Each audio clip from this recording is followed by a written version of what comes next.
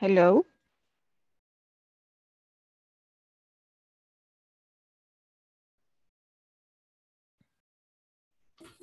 Good evening, teacher. Good evening. How are you? Fine. Awesome. Did you have a good day?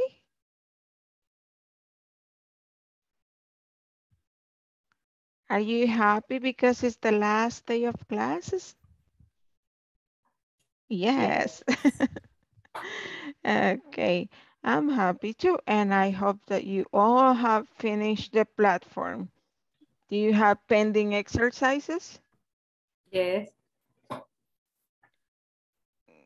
So you haven't finished or you finished the platform? Finish. Excellent. That's nice. Thank you. Did you download your certificate? Yes. Okay, fantastic. Um, did you check your name? The dates are correct? Yes, teacher. It's correct. Awesome, perfect. And that's an advice for all of you. When you download your certificate, please check that your name is written properly and the dates are correct. So, um, and if you haven't done it, if you haven't finished, remember that today is the last day and that should be completed in order for not having issues then with your certificate or with your next module. So um, let's start. I already sent the presentation like an hour ago. And let me share my screen with you. Okay, we have, um, well, we practice, uh, this is where we stopped yesterday and today we're going to practice a little bit more speaking. Uh, so we have these questions and we're, we're going to be using years because sometimes I know it is difficult to use uh, this kind of vocabulary, especially with years. So remember that you can, uh, when you're saying years, you can say the whole thing and remember that los miles son thousand. For example, here, that would be 1,906. 1,986 or 2000, 2001, 2010. Y también, pues, para hacerlo más fácil, los pueden dividir.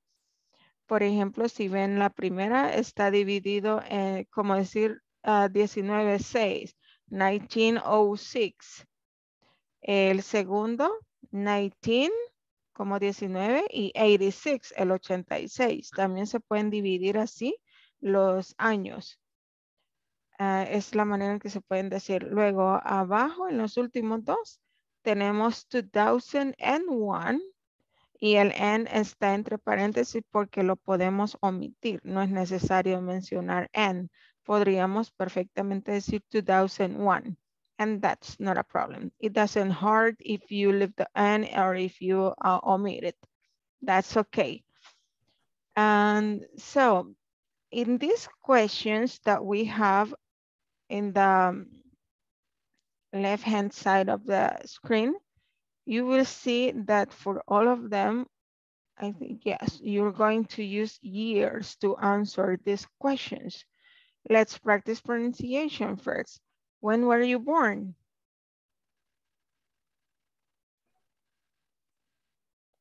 When was your father born? When was your mother born? When did you turn 13? Oscar is like, ¿ya está haciendo las cuentas, Oscar? no, teacher, what do you mean and when did you turn 13? That would be, if, uh, sería como decir en español, ¿cuándo cumpliste 13? Uh -huh. Last year. No, o sea que ya tiene 14 años. no. ¿Cuándo, ¿Cuándo, cumplió 13 años? ¿En qué año usted cumplió 13 años? A eso ah. se refiere esta pregunta. When did you turn 13? Vamos a tener que usar la calculadora, ¿verdad? Um, no, no, no, not quite. Ah. okay, let's continue. Number five, when did you start high school? Mm. I remember. Vamos a hacer el ejercicio. Now, when did you begin to study English? That I think that's the easiest one. when did you begin to study English? I'll, I'll give you a couple of minutes. Les voy a dar un par de minutos para que eh, contesten las preguntas antes de ir a los breakout rooms, para que empecemos a hacer las cuentas. Sacar la calculadora.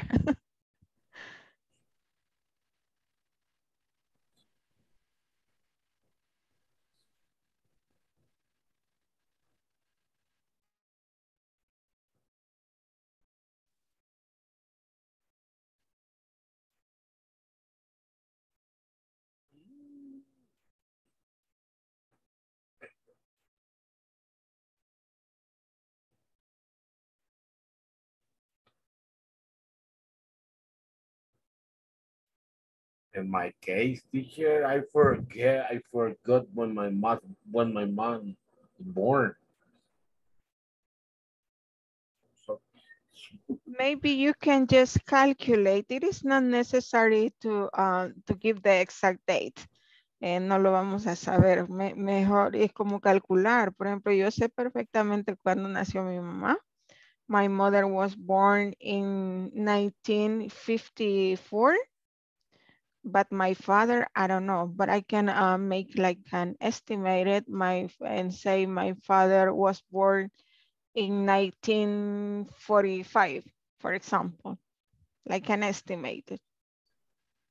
we have to make up, Mm, Yes, make it up, make it up. yes, in order to practice, just to practice.